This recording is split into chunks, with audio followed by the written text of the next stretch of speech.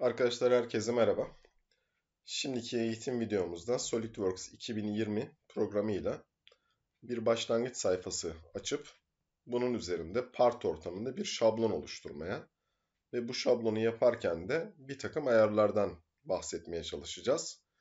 Bu ayarlarımızı oluşturup şablon haline getirdikten sonra da fare ve klavye ile alakalı kısa yollardan bahsetmeye çalışacağız. Bunları ayrı ayrı video aramayın diye tek bir video içerisinde buluşturmaya çalıştık. Şimdi SolidWorks'ü açtıktan sonra yeni bir sayfa açma ikonuna tıkladığımızda bakın şu şekilde karşınıza gelecek. Part, Assembly ve Drawing sayfaları var. Ben öncelikle part üzerinde bir şablon oluşturacağımızı söyledim. Bunu açıyorum. Bunu açtıktan sonra şurada Future ile başlayıp benim şu anki e, aktif ekranımda SolidWorks at ins ile biten hızlı kullanım araç çubuğumuz mevcut. Bu hızlı kullanım araç çubuğunun üzerine sağ tuş yaptığımızda buradan Customize sekmesiyle ya da Tab sekmesiyle buraya istediğimiz seçenekleri ilave edebilme şansına sahibiz. Örneğin yüzey modellemeyi kullanıyorsak Surface bakın buraya gelmiş oldu. Tam tersi bunların içerisinde kullanmadığınız hızlı kullanım araç çubukları varsa bunları da buradan Mold Tools seçeneğinde olduğu gibi tik işaretini kaldırarak hızlı kullanım araç çubuğundan pasif hale getirmiş oluyoruz. Sonrasında unsur ağacımız. Unsur ağacımız üzerinde bir front plane, bir top plane ve right plane var. Gördüğünüz gibi benim programım İngilizce. Ama isterseniz buradaki bazı kısımlara tıklayarak iç kısımlarına girerek örneğin burayı front plane olarak değil de sağ tuş tıkladığınızda buradaki ismi ön görünüş tap'ın olduğu yere tıklayarak buraya üst görünüş right'ın olduğu yere tıklayarak da buraya sağ görünüş diyebiliriz. Onları şimdilik değiştirmiyorum. Ama unsur ağacı içerisinde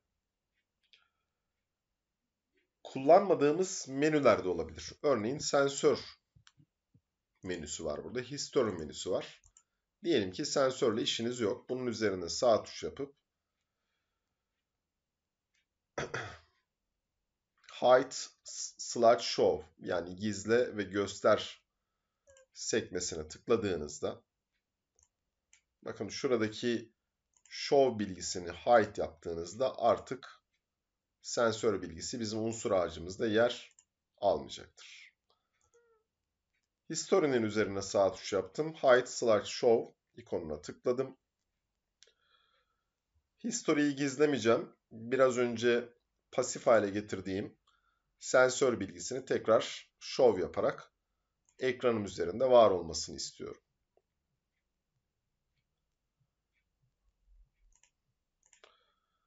Evet şimdi istersek bu kısımdan Options'a gelebiliriz. İstersek Tools menüsünden Options'a gelebiliriz. Buraya geldiğimizde bir sistem ayarları, bir de Document Properties yani arka planda açık olan sayfa ile alakalı ayarlar kısmını gerçekleştirebiliriz. Sistem ayarlarından önemli olan birkaç tanesinden bahsedeceğim. Mesela Display Style sekmesine tıkladığınızda Drawing sayfasındaki Display Style sekmesine tıkladığınızda Shaded opak renkli bir görünüm demektir. Eğer bunu istemiyorsanız Wireframe seçeneğine getirebilirsiniz. Bir de buradaki genel display sekmesi var. Bu da katı modellemelerdeki ekran görünümlerini ifade eder. Örneğin benim ekranımda şu anda bu kısımda Part Slash Assembly Tangent H Display sekmesinde Remote seçeneği işaretli. Bu ne demektir? Parçamızın kenarlarına radüsler oluşturduğumuzda o radüslerin ekranda gözükmesini ya da e, hangi şekilde gözükmesini istiyorsak bunu aktif hale getirmemizi istiyor. Mesela Phantom seçeneğini işaretledim. buraya bir tane parça oluşturup sonra da şu kısmına bir radius vermek istiyorum. Radius'ümüzü verdiğimizde bakın radius'un başlangıcında ve bitişinde çizgiler meydana geldi. Ama biz şu kısımdan bunu remove yaptığımızda artık ekranımızda o izler gözükmeyecek. Yaklaştığımızda faremizi o bölgeye yaklaştırdığımızda ancak o çizgilerin gözükmesini sağlamış olacağız. Görünümü görsel, görselleştirdiğinden dolayı daha güzel bir görünüm meydana getirdiğinden dolayı bu ayarı aktif etmenizi öneriyorum.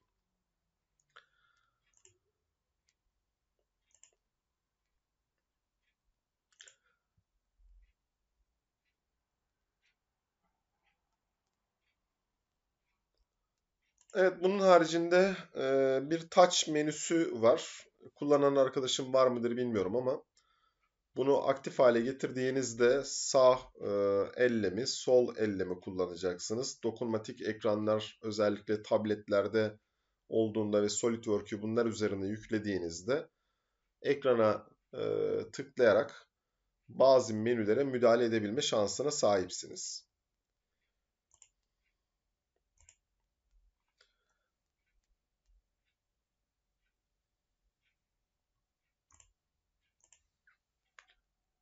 Evet bu kadar.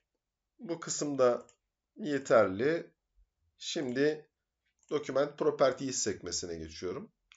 Diyor ki bana ölçülendirmeleri gerçekleştirirken kullanacağın tekstin fontu nasıl olacak? Eğer detaya girmek istiyorsak, sadece bazıları üzerinde değişiklikler yapmak istiyorsak onlara da bu kısımdan değiştirebiliyoruz. Ben komple değiştirmek istiyorsam buradaki fonta tıklıyorum.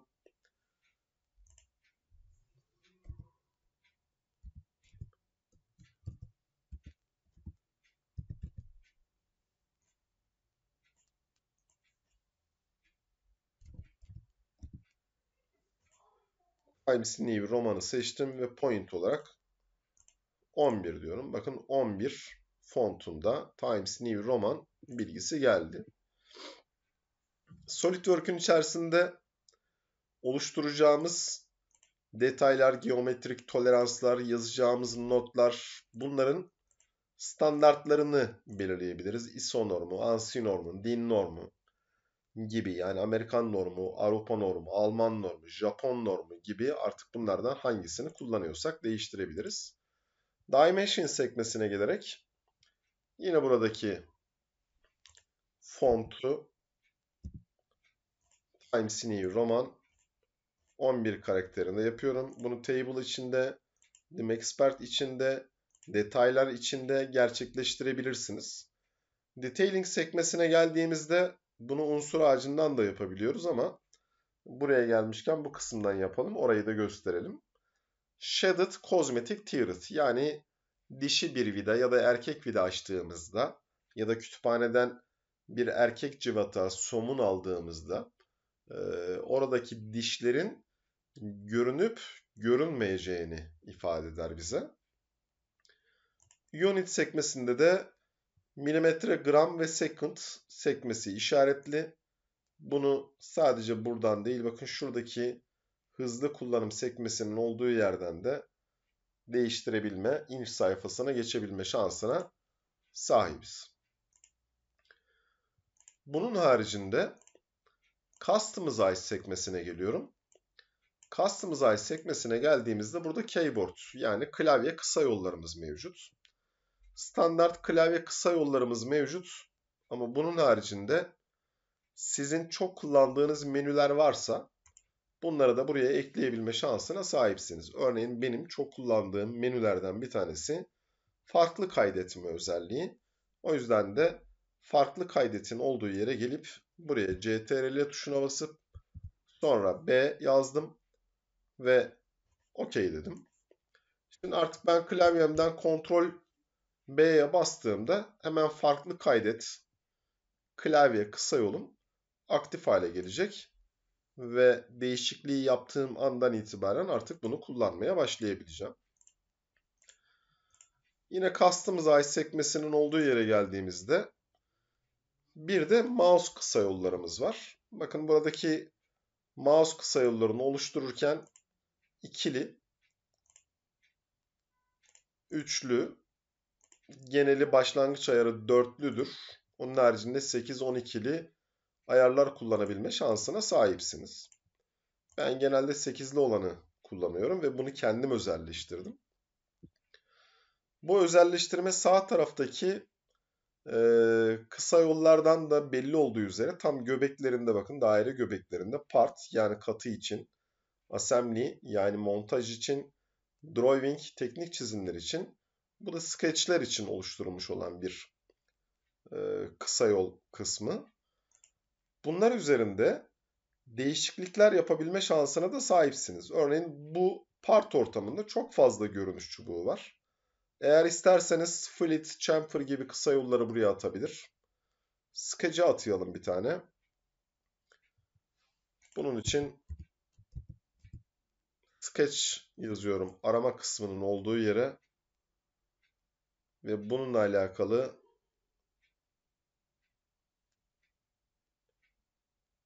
komutları bizim karşımıza getiriyor. Mesela ben mesleğim gereği center point, stride, slot komutunu çok fazla kullanıyorum. Bunun için de getiriyorum. Şuradaki kısma atıyorum. Gördüğünüz gibi oraya yerleşti. Peki bu hızlı kullanım araç çubuklarını nasıl kullanıyorum? Şimdi buraya geldiğimizde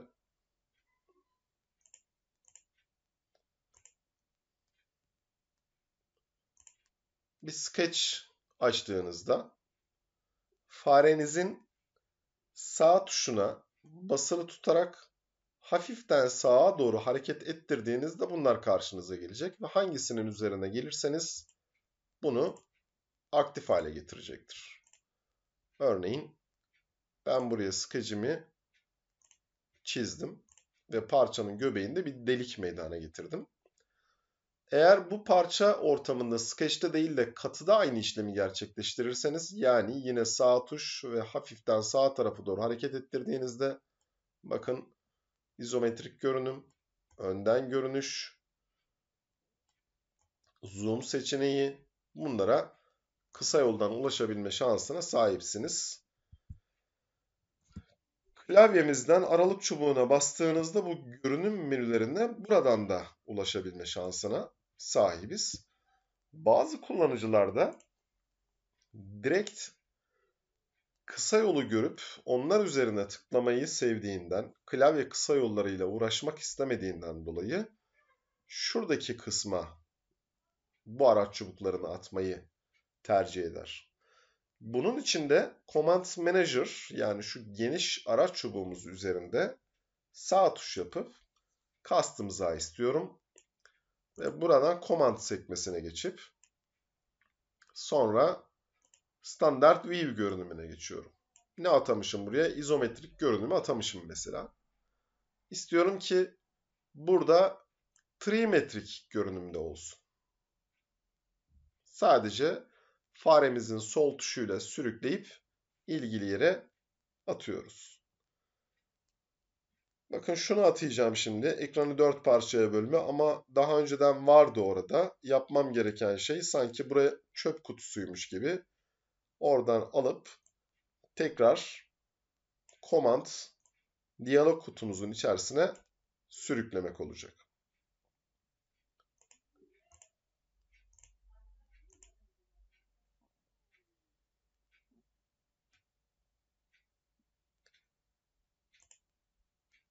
Genel ayarlarımızın içerisinde Options'a tekrar girdim.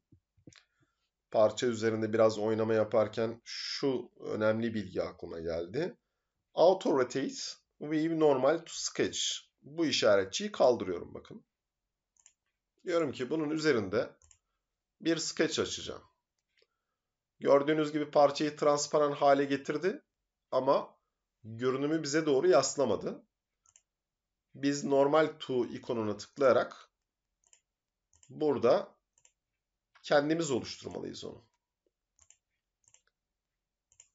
Ama options ayarlarından olduğu yerden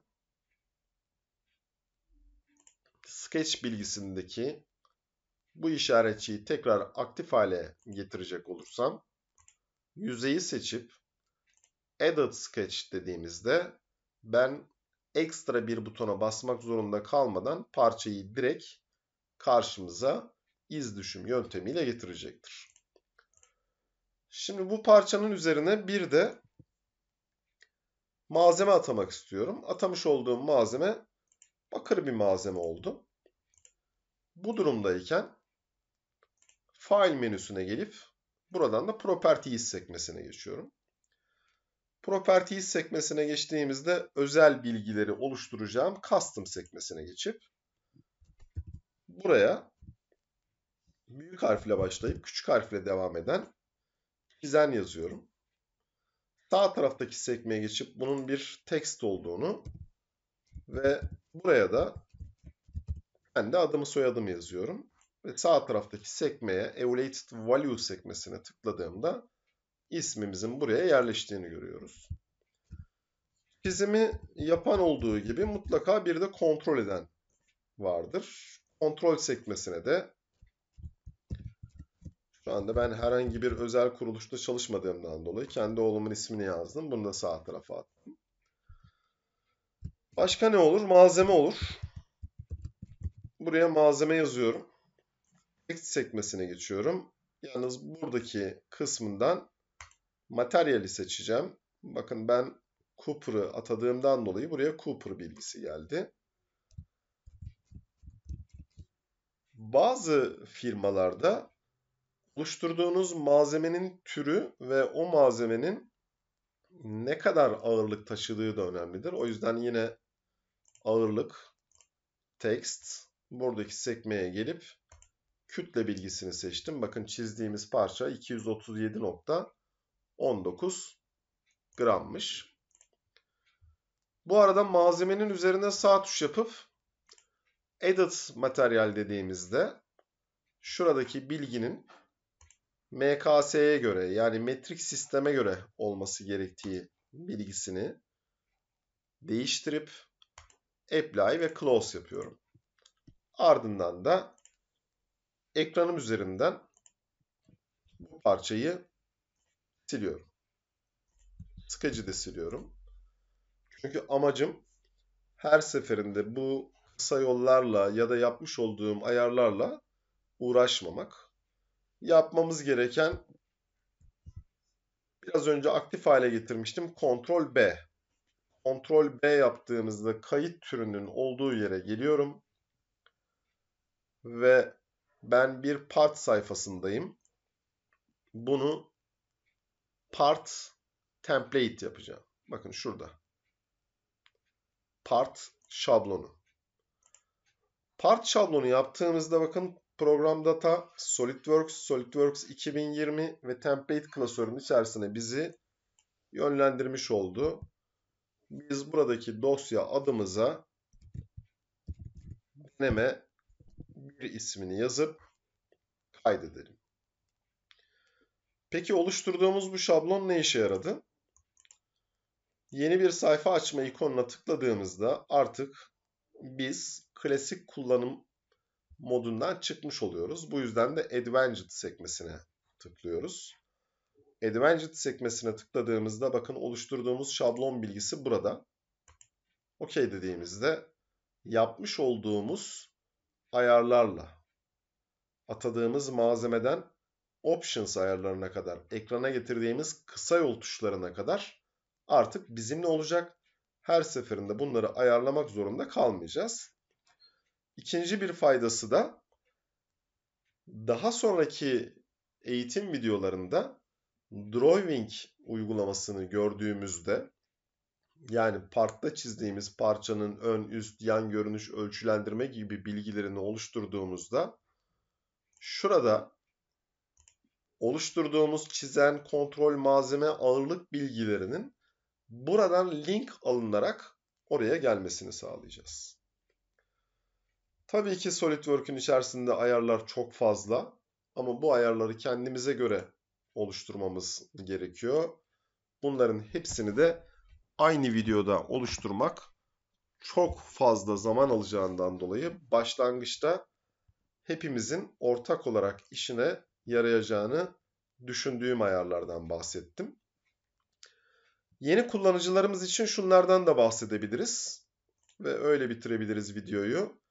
Buradaki görünüm sekmelerinin üzerlerine geldiğinizde her biri için bir kısa yol yazar. Bakın kontrol 1 çizmiş olduğumuz iş parçasını tam karşımıza almamızı, önden görünüşte bakmamızı sağlıyormuş.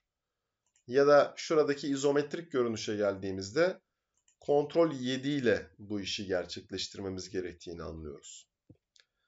Klavye kullanan kullanıcılarımız da çok fazla olduğundan ve bu klavye kullanımı bize hız kazandıracağından dolayı bunları da kullanmanızı tavsiye ediyorum.